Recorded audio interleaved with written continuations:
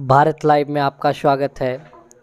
अभी हम शेखपुरा ज़िले अंतर्गत अरियरी प्रखंड के सनैया पंचायत में भावी प्रत्याशी और वर्तमान मुखिया गुड़िया देवी पति पप्पू चौहान जी के पास पहुँचे हुए हैं और इन्होंने पाँच साल के कार्यकाल में क्या विकास किया, आइए इनसे मिलकर के जानते हैं। प्रणाम, सर।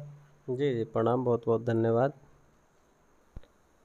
और आप लोगों के बीच में 2016 से 21 तक जो कार्यकाल बीता है इसको आप लोगों ने भली बात ही देखा है। हमारे सनैया पंचायत का जो क्षेत्र है काफ़ी लंबा है काफ़ी जनसंख्या चौदह गाँव आते हैं। चौदह गाँव आते हैं पंद्रह वार्ड हैं और काफ़ी ज़्यादा लंबा एरिया है। इसका क्षेत्रफल काफ़ी बड़ा है और विगत पाँच वर्षों के अंतर्गत हर एक गाँवों में हर एक वार्डों में जो कार्य हुआ है, बहुत काफ़ी मात्रा में हुआ है, फिर भी अभी तक सारे कार्य पूरा नहीं हो पाए हैं, क्योंकि क्षेत्रफल बड़ा रहने के कारण और विगत पिछले पंद्रह सालों से पूरे पंचायत जो है वो गैपिंग था। बहुत ज़्यादा गड्ढा था, उसको भरने में समय लगा है, इसी बीच में कोरोना काल भी आ चुका था।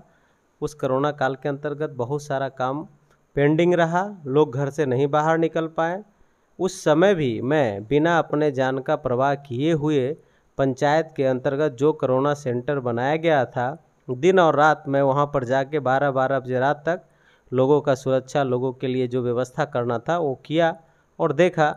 बाकी कार्यों के बारे में आप खुद फ़ील्ड में जाकर देख सकते हैं। बहुत सारे कार्य ऐसे हैं जो कि आप जहाँ सोच भी नहीं सकते, उतना बेहतर काम हुआ है और जो बाकी है, आने वाला समय जो है इस चुनाव के बाद हम लोग तुरंत प्रायोरिटी में लेके करेंगे।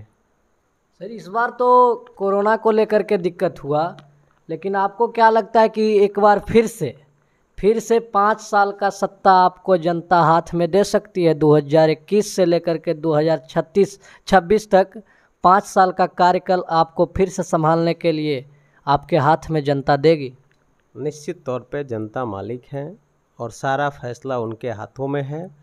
और सारे जनता निर्णय ले चुके हैं और वो सोच रहे हैं निश्चित तौर पे कि जो पाँच सालों में विकास हुआ है, निश्चित तौर पे इन्हें और एक मौका देना चाहिए।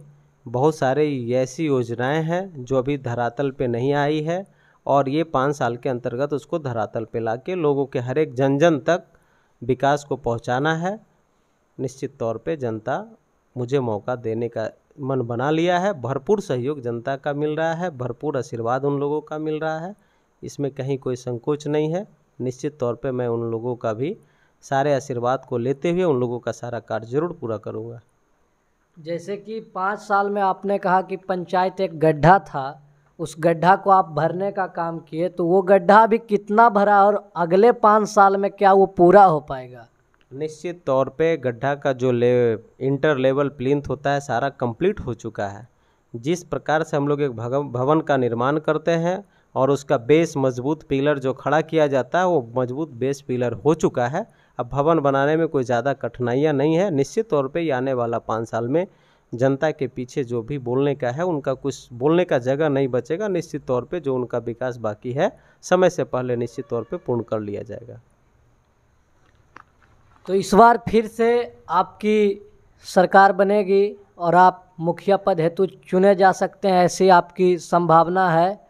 और यदि जो आप चुने जाएँगे तो अगले पाँच साल में जैसे इंदिरा आवास हो गया राशन कार्ड हो गया और ए, सरकारी योजनाओं के लाभ से बहुत से लोग वंचित है क्या उनको ये लाभ पूर्ण रूप से मिल पाएगा?